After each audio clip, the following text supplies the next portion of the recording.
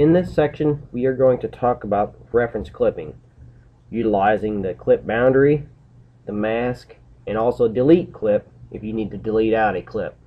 Let's go to the reference dialog box, which is this icon right here, loads it up.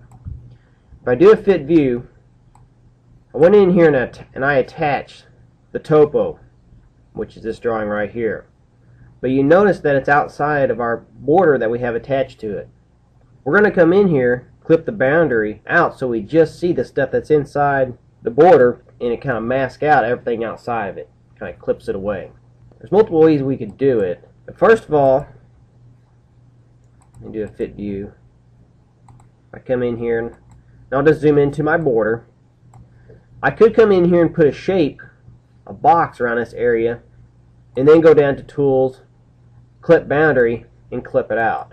But, just kind of an FYI, there is actually a shape embedded inside the border file to where you can just turn that level on and it will have that shape depending on what shape that you want, whether it's this, the plan portion at the top here and then the profile, or just a full plan, and a bunch of other options. So if I go to my level display, which is this icon right here, and I come in here and I select my border file, you'll notice that most levels are turned off. Well, if I come down here, it's fairly close to the bottom, there's one in here that says border full plan sheet. If I turn on that level, you'll notice that there will be a boundary placed around it. Just like what I have here. Or if it was a different type of sheet, maybe you just want the top plan, or your plan sheet's at the top and then your profile's at the bottom, you could do that also. So it all depends on what how you created those particular sheets of how you want to turn that level on if you're wanting to clip it out, just like what we're doing right now. So I'm going to turn on the one that says border full plan sheet. I can close it down for right now. And I come back in here and I'm going to select the file or if there were more files I could hold my control key down and do multiple ones at the same time. That's perfectly fine. Or you know hold your shift key down and do multiple ones. But I'm just going to do this one right here because that's the only one that's going outside my border. So I will select it and if I go to my tools pull down there's an option here that says clip boundary. Select it. Next thing that you need to identify is what method that you want. If we had an active fence out there, we could use an active fence also, or an element. I'm going to select element. I'm going to leave this one right here check mark that says use references dialog list, which are the ones that I have selected inside my list here. And all I need to do now is identify my element that I want to use as my clip boundary. And what it will do is it'll keep everything inside my boundary right here, but everything outside of it, it is going to clip it away. Your geometry is not being deleted, it's just clipping it out inside this file. So I'll select my element, and we're finished. Now if I do a fit view, it's just going to zoom into everything that's inside the border and all this outside geometry clipped away.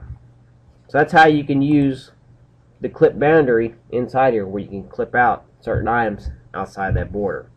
Now another option that may come into effect, let's say we need to put in some, some text inside of an area. We could do that, but we may need to mask out a certain area through here that is referenced inside here. Maybe we got some geometry that we don't necessarily need and we want to mask it out, but we will we don't want to detach the file. Well, if you come in here and do a tools clip mask, you know, I forgot to do something first. No big deal. I forgot to define a fence. What we need to do first is define the fence that we want to mask.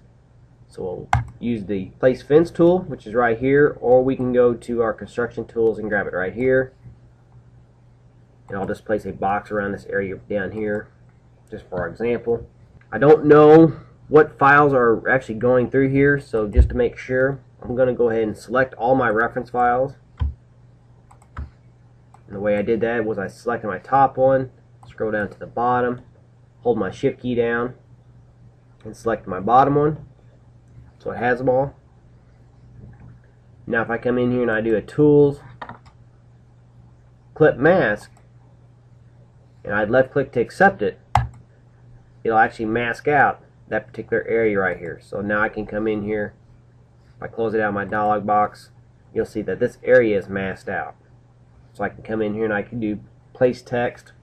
I can put in text here inside the active file and do whatever I need to do to that. Or, let's say I need to delete that clip.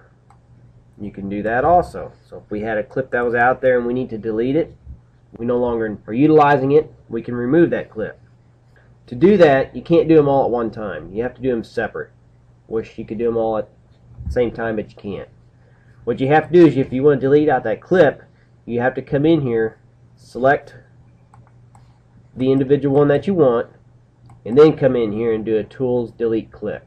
And then you identify the clip that you want to delete, that boundary that's around it, left click on it, left click to accept it, and deletes out that clip. So you'd have to do it to each one of these to remove those clips. And I'll just go ahead and do that real quick. And you'll notice as I go down through here, more geometry is going to show up because I'm taking the mask out away from that particular file.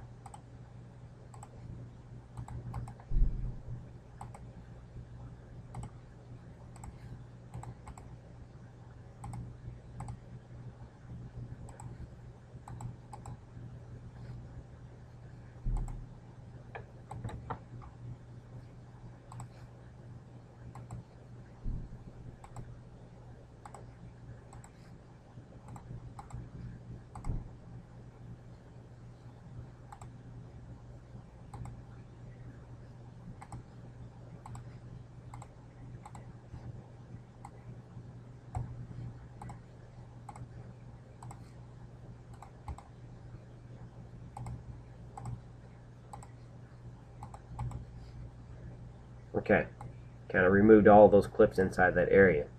Probably a little more typical situation versus what we did there is if you had, let me go ahead and pull this down.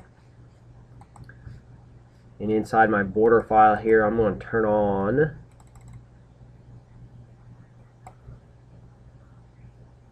my profile.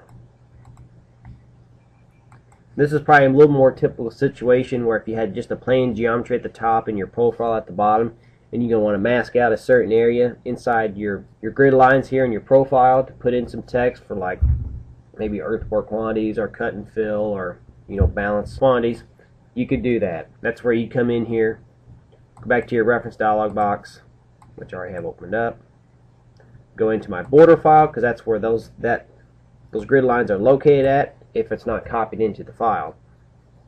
And now I can come in here and I'll define my fence. I'll come in here and I'll do a clip clip mask. Left click to accept it. Close out my dialog box. Remove my fence. You'll notice that that's masked out now. So I can come in here and I can put in text, do whatever I need to do to it inside my active file. So those are some of the options using the reference clipping that you can utilize in MoDOT production. I'm going to come back in here.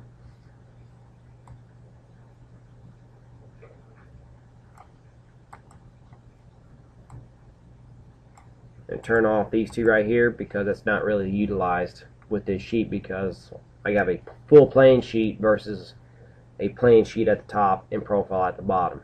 But like I said, that's all dependent on how your sheets were created by the designer or technician.